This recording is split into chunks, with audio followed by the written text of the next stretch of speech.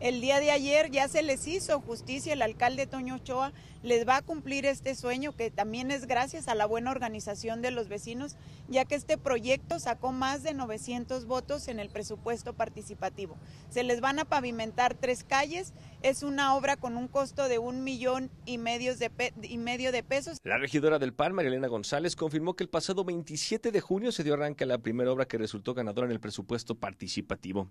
Son 32, 33 proyectos, se estimaba que fueran eh, cinco por cada distrito, son seis distritos, hay algunos que salieron el, el, costeo un poco menos de un millón y medio, por eso en algunos distritos entraron seis o siete proyectos y estos los estaremos viendo ya el arranque de obra en los próximos días. Recuerden que son 50 millones de pesos lo que se va a ejercer. Se trata de trabajos de pavimentación en la colonia Jardines de San Antonio, con una inversión cercana a 1.5 millones de pesos en este municipio de Durango se le da esta opción a todos los ciudadanos para que ellos eligieran la obra que querían en su municipio y ahora ya este es un sueño hecho realidad y se empezó en el fraccionamiento Jardines de San Antonio. ¿Ya están licitadas las demás obras, regidora?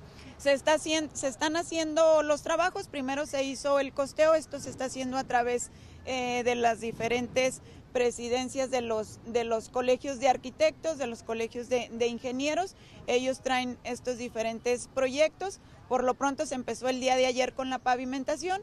Hoy se continúa con otra obra y así se va a estar haciendo en los próximos días. Con la edición de Donato Herrera en Canal 12 Noticias Informa, Salvador Mercado Hurtado.